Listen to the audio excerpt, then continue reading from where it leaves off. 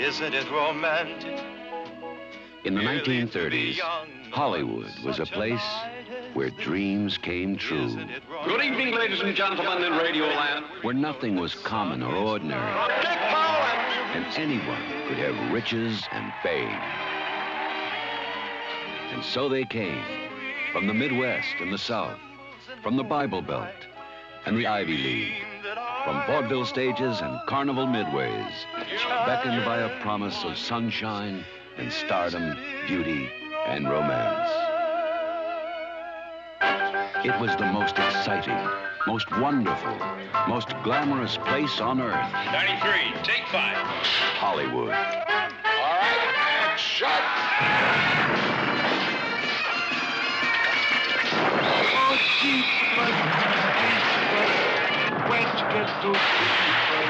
Jeepers creepers. Karen Black is Faye Greener. She wanted more than stardom. She wanted to live her dreams. I'm in pictures. Only extra work now, but I haven't had a real chance yet.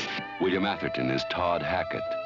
He loved Faye enough to believe in her fantasy. I like you a lot. I love you.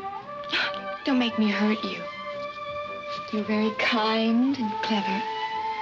But I could only let a really rich man love me. I could only love someone criminally handsome.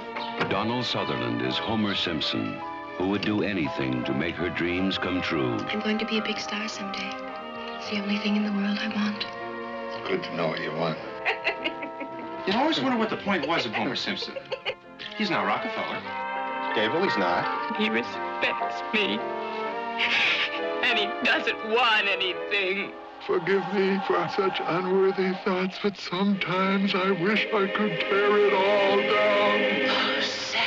The Day of the Locust, an unforgettable vision of love, success, and dreams.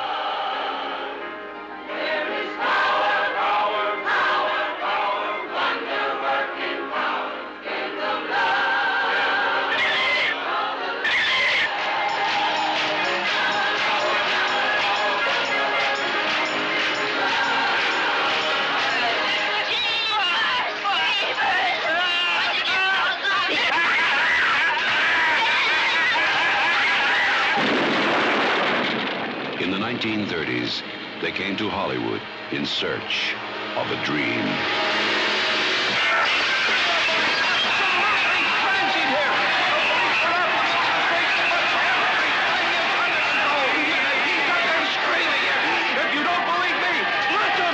From the writer, producer, and director of Midnight Cowboy, this is the Day of the Locust.